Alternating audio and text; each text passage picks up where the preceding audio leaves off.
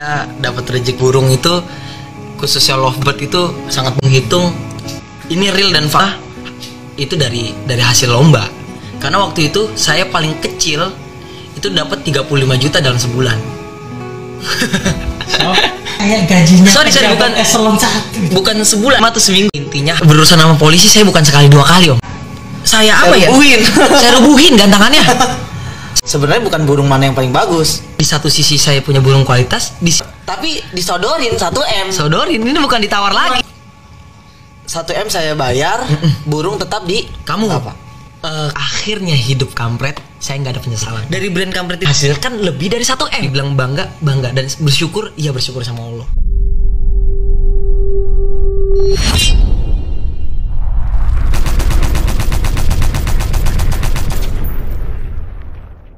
Halo Kicamania, kita jumpa lagi dengan channel Mbak Ngerol dengan saya Giri Prakosa. Semoga Kicamania semua dalam keadaan sehat walafiat ya.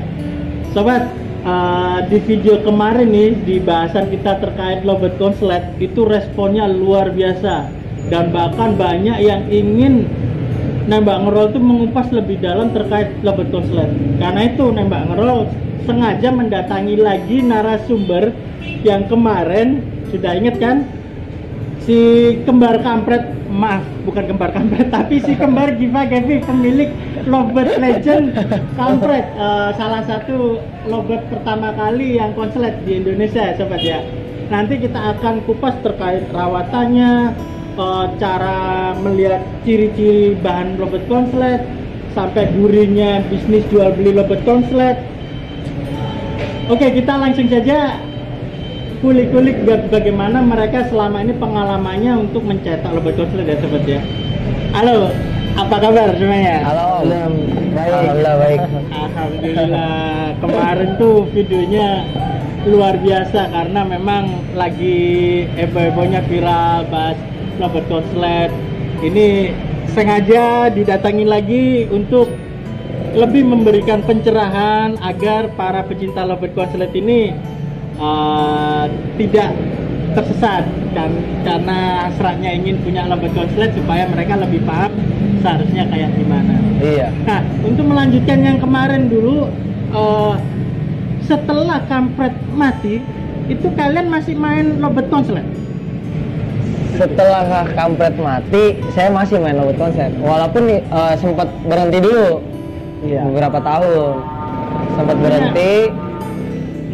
Karena dan karena- punya lobet kampret setelahnya saya punya Braja Musti dan itu sama-sama juga kondisinya kurang sempurna iya juga? heeh. betul betul jadi setelah setelah kampret itu ada lagi dulu nih Braja Musti cuman posisinya matanya buta tapi konslet juga Konslet juga. itu juga waktu itu Dan sempat bermasalah kayak kampret juga? Iya, sama. Sama sama karirnya jadi nggak perlu diulas kan Iya, iya, iya. sama seperti kejadian kampret. Baru akhirnya saya berhenti sejenak karena posisinya waktu itu saya fokus untuk belajar bagaimana caranya benar-benar bisa buat konslet nih. Karena kan saya lihat-lihat kok makin lama konslet makin banyak menjamur. Artinya kan di sini berarti ada yang ada hal yang bisa diambil. Hmm. pelajarannya benang merahnya bahwa konslet ini bisa dicetak kan? Nah, memecahkan mitos bahwa lobet itu memang benar-benar bisa dicetak ya. iya. Betul. Gitu. Punya berapa kalian lobet konslet total? waktu itu berapa? Hampir 6 ya Pia? setelah kampret Raja Musti terusnya hampir 6 ada kampret JR ada Mister Kampret ada Anjani ada Papi Cila ada Mami Cila. Terusnya ada satu lagi tuh Ibrahim. Ibrahim namanya. Nah itu konsep semua gitu. Kalau kalau waktu kalian punya satu konslet aja pundi-pundi datanya itu kalau punya enam. Apa makin tajir dong itu? Tapi kalau dibilang makin tajir gara-gara punya 6 nggak begitu. Nggak begitu. Karena kondisinya mungkin sudah berbeda Om. oh sama eranya sudah Iya, berbeda ya. eranya sudah berbeda. sekarang makin banyak lawannya. Betul, satu makin banyak lawan, kedua makin banyak peraturan, dan peraturannya itu yang membuat gimana ya? susah untuk mendapatkan Hasil uang yang banyak. banyak Betul.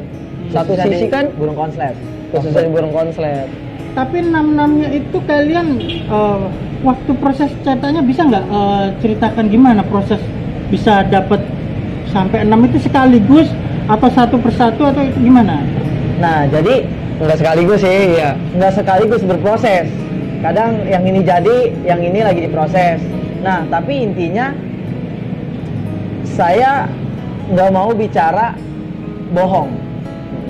Intinya kalau mencetak burung konslet itu nggak bisa kita dari nol atau terahan. Dari nol benar-benar dari dia lahir kita proses untuk konslet. Susah. Tapi hmm. mencetak konslet itu agar lebih cepat dan mudah kita cari bahan-bahan konslet. Nah, bahan-bahan konslet itu yang burung lovebird tersebut memiliki karakter konslet. Nah Gitu. ini ini yang yang yang bikin apa yang banyak pencinta lovebird ini ya karena saking pengennya punya lovebird konslet ya. Eh, coba kalian bersedia nggak bocorin ciri-ciri lovebird bahan konslet itu emang kayak gimana supaya ini supaya eh, pecinta lovebird ini yang pengen beli tuh nggak mudah ketipu gitu hanya orang wah ini bakal konslet nih sementara mereka itu belum pernah melihat eh, yang bahan Konslet itu kayak gimana sebenarnya? gimana. Nah, Iya. pengalaman kalian tuh mereka lobet-lobet konslet itu waktu bahan itu ciri-cirinya itu rata-rata gimana? Nah, kalau eh, sepengalaman saya, sifatnya sih sharing sih ya, bukan menggurui atau memberikan pencerahan. Agar kan teman-teman semua ini nggak salah nih, nggak nggak mudah terpengaruhi sama orang-orang yang memanfaatkan momen ini. Hmm. Intinya sih begitu. Nah, jadi untuk mendapatkan bahan konslet dengan ciri-cirinya, yang pertama sih kalau menurut pengalaman saya intinya ini burung pertama jantan dulu deh, biar gampang. Jadi Iya. lebih mudah jantan. Iya. Lebih mudah jantan. lebih mudah jantan. Tapi bukan berarti betina nggak bisa. Bisa, Betul. iya. Tapi lebih, Lebih susah. Lebih susah. betina. Kalau menurut pengalaman saya, Nah, eh, saya mencari jantan dulu. Nah, jantan ini kalau bisa yang sudah memang punya materi. Artinya materi itu sudah punya eh, durasi kah atau ngangkat yang cepat. Dobelan. Dobelan bahasanya tuh. Bahasanya dobelan. Nah, setelah kita sudah punya materi, dobelannya oke atau panjangnya oke. Nah, di sinilah kita harus melihat bahwa burung ini tuh harus benar-benar tidak fighter yang berlebihan. Oh gitu. Tidak deket-deket cik, deket-deket cik, deket-deket cik. Nah, itu ak- akan ada perbedaan. Di jantan tuh sangat signifikan perbedaannya dibanding betina. Hmm. Nah, sampai pada akhirnya burung ini tidak ada faktornya. Kalau saya Kalau lihat, kita tracking gitu ya, Iya. dengan dua kandang yang berbeda, simpelnya, simpelnya. dia nggak ngelawan, nggak ngecik, Cuek gitu. ah, cuek. Mm-mm. Tapi kalau misalnya dipisah, kemungkinan dia bisa ngekek dan ngeluarin dobelan. Nah, itu. Tapi kan burung bahan kan juga gitu. Atau burung bahan itu pasti ada perlawanan. Ah. Pasti ngerespon ngecik. Pasti ya? ngerespon. Mm-mm. Oh, Mau dari better, iya. pasti ngerespon. Pasti. Pasti ngerespon.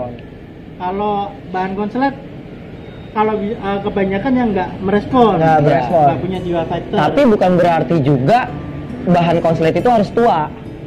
Uh, Umurnya itu harus tua, nggak juga begitu. Hmm, Intinya karakter kan, karakternya sudah uh, apa namanya dia tidak fighter, ya kan? Dia tidak ada namanya ngeciknya, kemudian dobelannya sudah mulai keluar. Nah itulah udah mungkin bisa dikatakan bahwa ini bahan yang baik nih untuk menuju konslet, walaupun nggak semuanya akan bisa. Nah, gitu jangan salah kaprah juga nih karena kalau bicara statement yang apa namanya dari nolnya buat buat eh, burung itu nggak ngadu burung itu punya dobelan banyak stepnya saya juga pernah waktu itu menjelaskan tapi ini mau poin-poin tepatnya aja nih Nah, ya kan Dan karakter burung itu berbeda. Pasti ada satu hal yang di mana kalau misalnya dia ngekek ada hal yang berbeda. betul Nggak kayak ah, misalnya Eh, perilakunya. perilakunya. perilakunya Gitu. Contohnya, contohnya. Misalnya dia sebelum ngekek, palanya goyang-goyang dulu baru ngekek. Nah, Hmm. atau sebelum ngekek ada kakinya yang diangkat. Nah, Oh, itu pokoknya diangkat. ada hal yang berbeda. Kalau robot robot biasa kan, ya kalau ngekek ya nge- ngecik langsung ngekek gitu. Itu memang contohnya dari enamnya itu masing-masing punya Punya karakter, punya khusus karakter. gitu. Betul, karakter. Tapi nggak harus nggak selalu sama semuanya. udah selalu sama Ah, selain itu ada lagi nggak ciri-ciri bahan konslet. Nah, ciri-ciri bahan konslet tuh kalau emang dia mau cepat proses ke konslet, pasti lagu di ekekan dia itu akan Ada- berbeda ada nanti ya. berbeda. Kalau udah Beda tuh benar-benar dalam artian di mana? Kalau Kan bahasa bunyi sekarang- kan cuman ya gitu-gitu aja. Kalau bahasa sekarang tuh minor ya, minor keluar tuh. Ah. Nah, dia ada nada di mana dia rendah. Nah, semakin dia menuju ke konsletannya, semakin ada nada yang di mana dia nadanya tuh bahasa lagu tuh apa ya? rendah. Kayak eh, mellow. Tek tek tek kek kek kek kek kek kek gitu. Yang Tadi kan kek kek kek kek kek kek. Iya. Ini masih neken nih. Masih terlalu kencang. yang dia santai. Eh, eh, tapi kalau dia udah mulai mellow, kek kek kek kek kek kek kek, ah itu udah mulai mulai mulai ada tanda. Tapi itu hanya ciri-ciri aja. Itu hanya ciri-ciri, ya. bukan jaminan.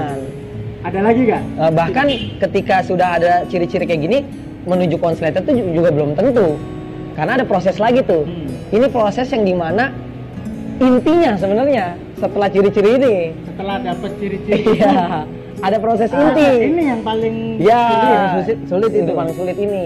apa itu gimana?